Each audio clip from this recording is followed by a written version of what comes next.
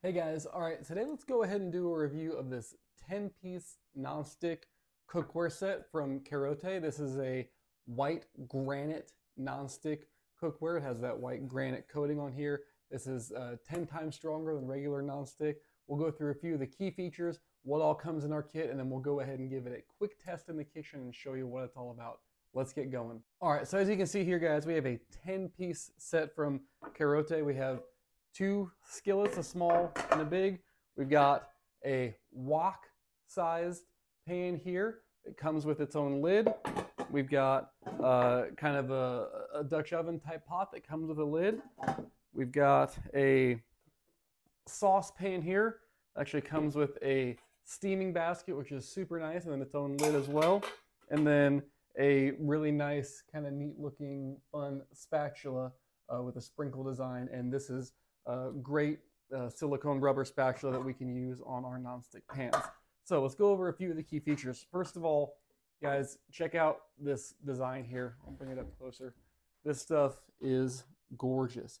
You can see kind of got these little flecks in here. A lot of people have asked, um, is this a, a rough surface because it's granite? No, it's nice and smooth to the touch, uh, traditional kind of non-stick feel. Um, you have this beautiful wood looking handle it's a rubberized finish, so it's super comfortable. Get a nice ergonomic design here, so uh, really feels feels nice. Heavy, but not too heavy, not like a cast iron pan, but it's got a good weight to it. Uh, this is going to work out really well for you guys in the kitchen. A couple other things that we like here, again, they include the utensil to use for these pans. As with any nonstick, we don't want to use metal utensils. We want to try and take care of this stuff as much as possible.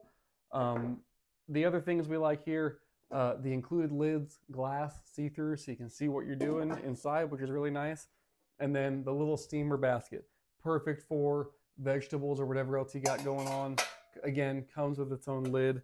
This stuff is really, really good looking. This will perform really well in your kitchen. Speaking of performing in the kitchen, let's go ahead and give it a quick test. All right, guys, we're here in our kitchen today. We're going to test out this pan. As you can see, we are working with uh, a gas stove, um, but this cookware will work great on uh, induction, on electric, on really any kind of stove you have. Just make sure you check the, uh, the manufacturer specifications, but I know it'll work on those for sure. We're going to go ahead and let this heat up for just a few seconds, and then we are going to fry an egg in this pan. Now they say always put a little bit of oil in the pan just to protect the surface, but we're going to do it without oil just to show you how well this nonstick really works. Um, Again, follow all the manufacturer's instructions on what kind of utensils to use, on what kind of heat to use, how to properly clean. Uh, we're going to let this cool a little bit before running cold water under. We don't want to shock the nonstick. We don't want to do anything to hurt it because we want this stuff to last for a really, really long time. So we're going to let this heat up and we'll come back in just a second. All right, guys, our pan is nice and warm. We're going to go ahead and uh, attempt to crack our egg without making a huge mess here. There we go.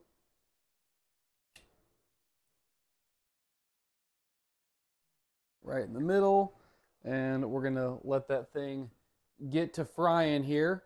Again, we've got it kind of on, uh, you know, medium heat or so. We don't want to scorch anything, um, but we're just going to let this go for a minute or two and uh, show you how well the, uh, the nonstick truly works.